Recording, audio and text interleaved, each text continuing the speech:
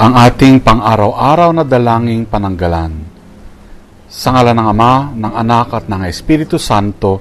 Amen. O Amang makapangyarihan, pinupuri kita sa araw-araw ng buhay ko.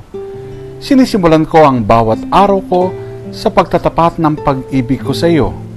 At sa pagtatapos ng araw, ikaw lamang ang aking pinupuri at sinasamba.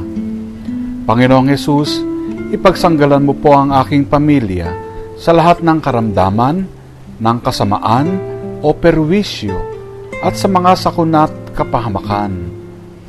Kung mayroon mang isa sa aming pamilya ang napasa ilalim sa masasamang kapangyarihan ng sumpa, kulam o makaengkantong bulong, sa kapangyarihan mo, O Heso Kristong aming Diyos, ay ipawalang bisa mo po at alisan ng kapangyarihan ng mga sumpa, kulam o makaengkantong bulong na ipinadala sa akin at sa kahit kaninong tao na naririto, lalo tigit sa mga mahal ko sa buhay kung mayroong masasamang espiritong ipinadala laban sa akin at sa aking pamilya. Ito ay pinawawalang bisa mo o Heso Kristong Diyos at Panginoon namin. At lahat ng kasamaang ito ay iyong pinalalayas upang pumaroon sa paanan mo na siyang mamamahala sa kanilang sasapitin. Magkagayon, Panginoon, ipadala sa amin sa maghapong ito ang iyong banal na Espiritu upang kami ay bantayan, gabayan at ipagsanggalan.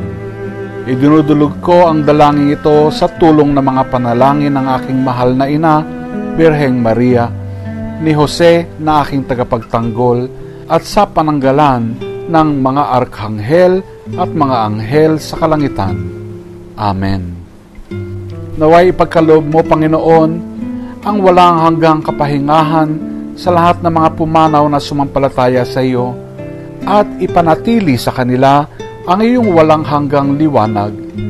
Nawa ang mga kaluluwa ng lahat ng pumanaw sa pamamagitan ng pag-ibig at awa ng Diyos ay makatamasa ng mapayapang kapahingahan sa iyong piling. Amen. Luwalhati sa Ama, sa Anak at sa Espiritu Santo, kapara ng sa unang-una, ngayon at magpakailanman, magpasawalang hanggan. Amen. Sumainyo ang Panginoon. At naway pagpalain kayong lahat na makapangyarihan Diyos, ilayo kayo sa lahat ng kapahamakan at karamdaman. Sa ngala ng Ama, Anak at Espiritu Santo. Amen. Amen.